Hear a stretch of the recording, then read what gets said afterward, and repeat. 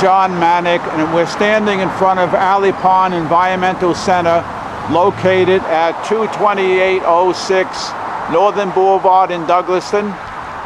We're going to be going inside to learn a lot about the Alley Pond Environmental Center. Uh, you can see it's open to the public. It has trails, programs, and animals. Uh, and um, what's interesting about the Alley Pond Environmental Center, it is a great place for people who are concerned about the environment, who would like to have their children learn more about how to protect the earth. Uh, and we're going to be uh, going inside. Again, this is a one, one in a series of videos uh, on with the theme of you must live in Northeast Queens. Northeast Queens consists of the communities of Bayside, Little Neck, and Douglaston, located in School District 26, considered year after year to be the best school district in all of New York City.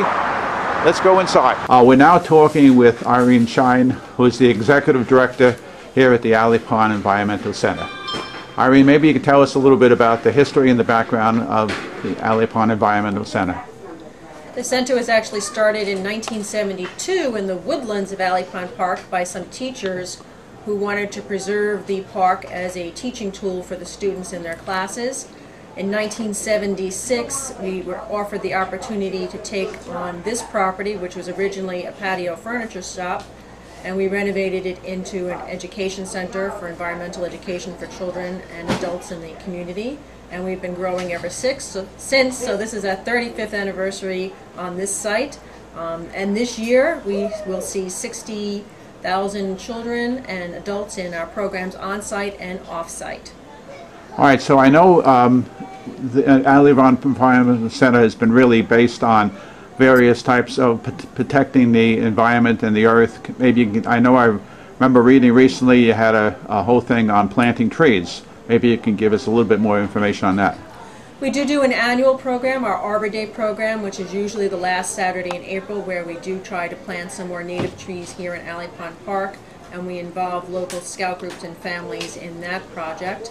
Every September we run a National Estuaries Day. It's a free community event, um, sort of like a festival with lots of community groups having tables and lots of free activities, usually including kayaking and boat rides out on Little Neck Bay, um, as well as activities here on site on that day.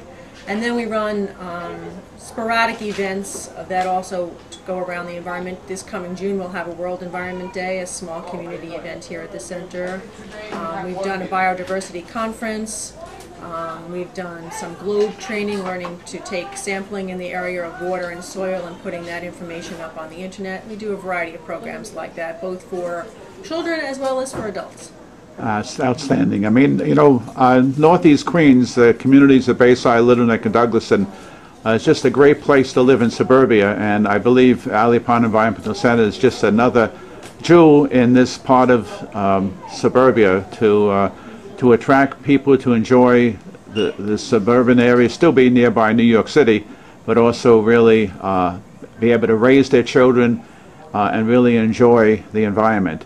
Um, I know you also have um, uh, various classrooms. I saw a whole bunch of buses outside.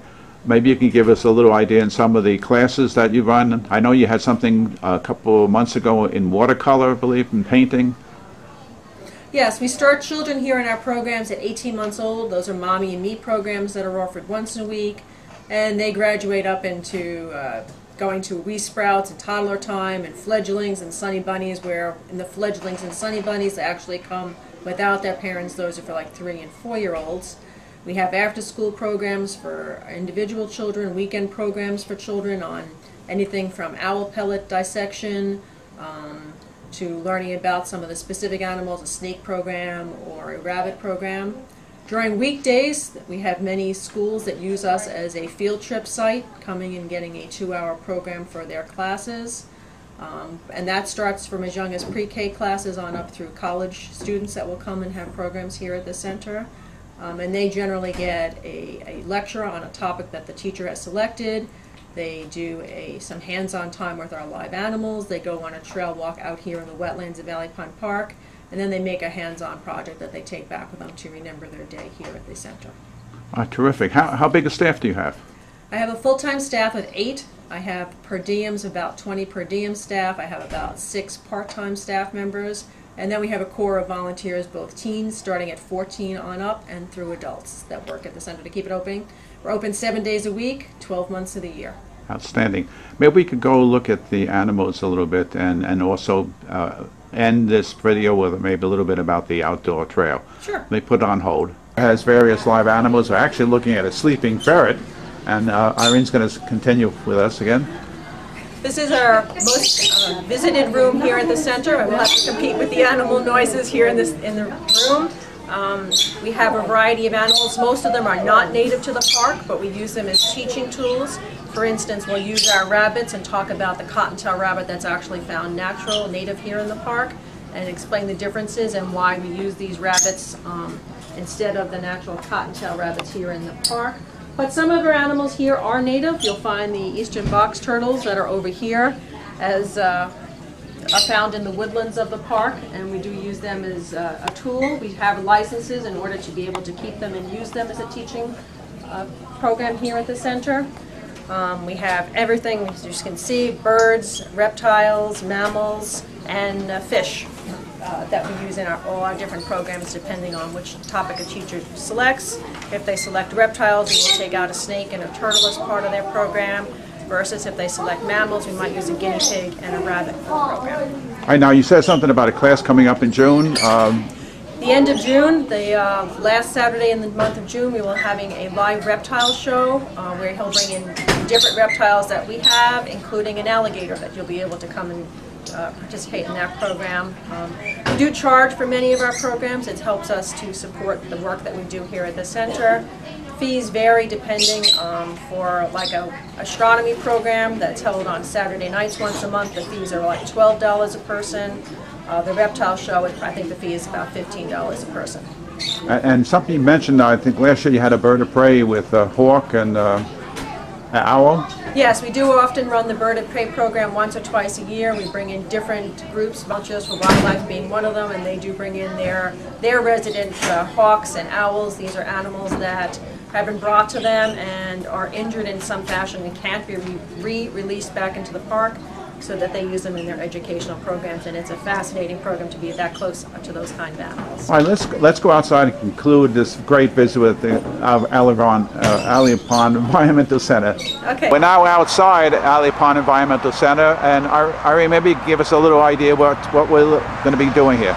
Well, we have a couple of local little trails here through the wetlands of Alley Pond Park, as well as there's one long trail that loops all the way around the entire wetlands back to the LIE and comes back on the other side of Alley Creek.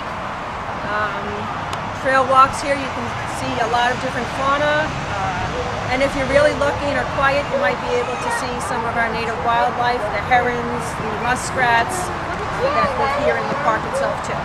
By one of the trails uh, for the Alley Pond Environmental Center, we have a, uh, a windmill, and Irene's going to tell us a little bit about that. This is the Douglaston Estate windmill. It's actually a wind pump. It pumps water. It was a building very similar was found here in the Douglaston Manor area. It was used by the farmers to pump water for their farmlands. The original was moved on to this site. We dug the well, built the foundation, and unfortunately the original was destroyed by arson. So this is a replica that was built to simulate what would have been found in this area. As I was mentioning to people before, the waiting list for school children to come to the center is so extensive, over 10,000 school children we will not be able to see this year, that we've now actually turned this windmill into a classroom. So in the better months, April, May, and October, and even to early November, we'll do a class in here every day. As well as just off here to the side on the property, we have an African safari tent that we call our outdoor classroom, and we do a class in there also on the nicer months. The trails here at the center, anyone can come and walk. There are very local trails, very short trails, take about 20 minutes to walk uh, through the local areas, as well as we have one long trail that goes around the whole marsh, all the way back from Northern Boulevard to the Long Island Expressway, crosses over the other side of Alley Creek and comes back to Northern Boulevard. And that trail will take you about an hour, hour and a half to walk the entire trail here at the center. Uh, mean, what a remarkable place you have here, you know, and, and it's kind again, it's like a hidden jewel in the middle of the urban part of New York City. I really want to thank you for your time. Again, this is the Alley Pond Environmental Center located on Northern Boulevard in Douglaston. Uh, and you really need to come by and bring your children and have a great time here. Thank you. If you want to learn more about the Alley, Alley Pond Environmental Center, give them a call at 718-229-4000 and you can be connected to various uh, things going on. If you want to volunteer, they're looking for volunteers. It's a great program for children, adults. Again, I'm John Maniec with Charles Rutenberg Real Estate, 917-750-7842, 917-750-7842. This is just another video in a whole series entitled You've Got to Live in Northeast Queens. Great communities of Bayside, Little Neck, and Douglaston. Thank you for watching this video.